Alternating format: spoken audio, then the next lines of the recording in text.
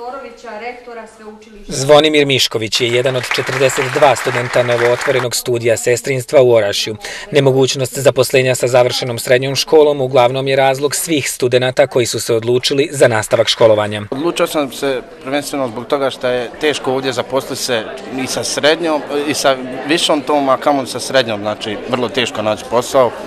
I onda sam htio nešto više, a eto, završio sam srednju medicinsku, pa nastaviti u tom smjeru. Ovo sam baš upisala iz razloga, tek sam završila srednju školu i zato što ću tako lakše naći posao kad završim. Redoviti studij sestrinstva u Orašju besplatan je za sve upisane studente zahvaljujući vladi Republike Hrvatske.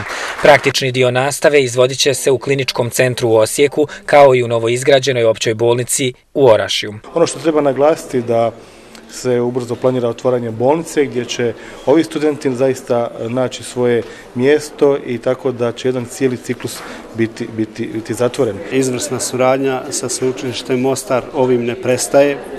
Mi smo u planu otvarati i dalje odjele fakulteta ovdje, mijenjati studij nakon nekoliko godina jer smatramo da smo malo područje da možemo jedan studij držati predugo. Do sad je u Orašju otvoreno pet dislociranih odjela Mostarskog sveučilišta. Zahvaljujući tomu više od 550 studenta studira u svome rodnome mjestu.